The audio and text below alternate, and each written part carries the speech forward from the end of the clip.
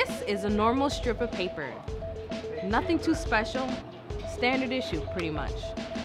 But if we were to further analyze this piece of paper, eh, we would say it has two sides, one and two, and four edges, one, two, three, and four.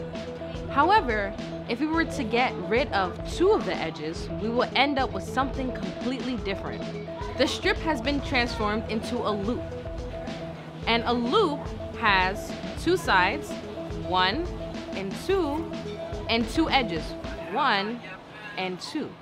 A loop is a curve that bends around until it crosses itself. We make loops all the time when we're tying our shoes or even riding roller coasters. Still not impressed? How about this time, in addition to getting rid of one more edge, we also get rid of one side.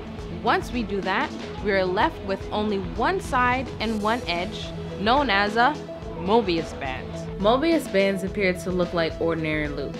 The only difference between the two is the presence of a half twist in the Mobius band. This half twist is what combines the would-be two sides into one. Mobius bands are a fun way to explore topology, a branch of mathematics that studies space, dimension, and transformation. In the past, the B.F. Goodrich Company patented a Mobius strip conveyor belt with the idea that combining both surfaces would increase the durability of the belt.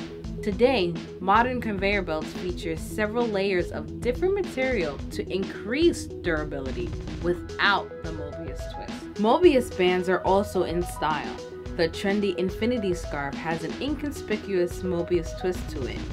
Jewelry designers also incorporate Mobius twists into their pieces as well. It's math you can accessorize with. Thanks for watching our episode on Mobius bands. If you have a question or a comment, please leave them below. Also, don't forget to like, share, and subscribe.